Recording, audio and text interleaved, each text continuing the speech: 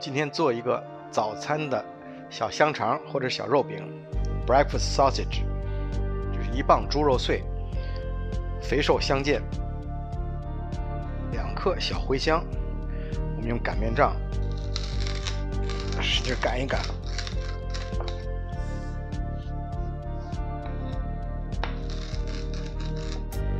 不用擀得很碎，把擀碎的小茴放入肉中。加上两克鼠尾草末，英文是 sage。早餐香肠的主要的味道就来自它，缺它是不可以的。加入一勺 maple syrup，枫叶糖浆，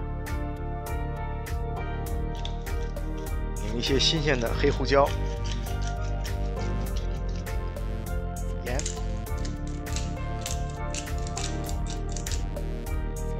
均匀，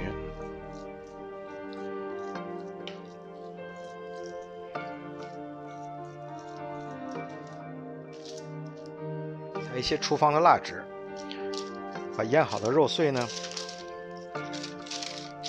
这样压一下，压成肉饼，不需要太薄，我们要吃它的口感，这样就可以了。我们可以把它放到冰箱里冻起来。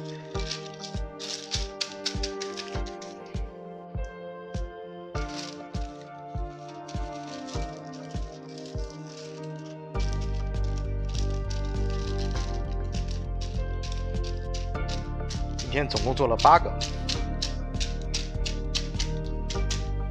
一个小的铸铁锅烧热，不需要放油。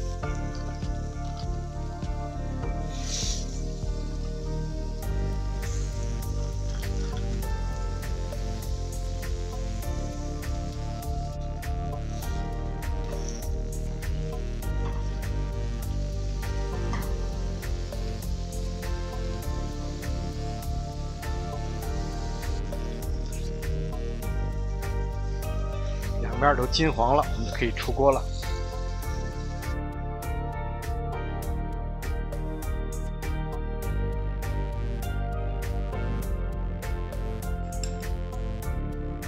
早餐的肉饼做好了，吃起来非常像外边早餐店的味道，大家可以试一试。